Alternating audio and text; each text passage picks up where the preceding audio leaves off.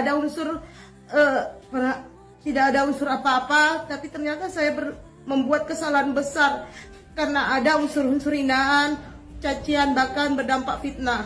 Pencemaran nama baik.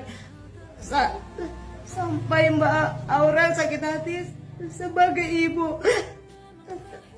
Saya pun juga sebagai ibu menyadari bagaimana sakit hati Mbak Aurel jika anaknya di- diperlakukan seperti Amin. Saya pun tidak menyangka kalau sampai suami saya anggota Polri terbawa-bawa kasus ini. Sedangkan suami saya tidak tahu sama sekali perbuatan saya lakukan ini. Saya benar-benar menyadari kesalahan saya. Saya sangat menyesal dan saya berjanji untuk menjaga etika ketikan akhlak tangan saya untuk berpositif saja.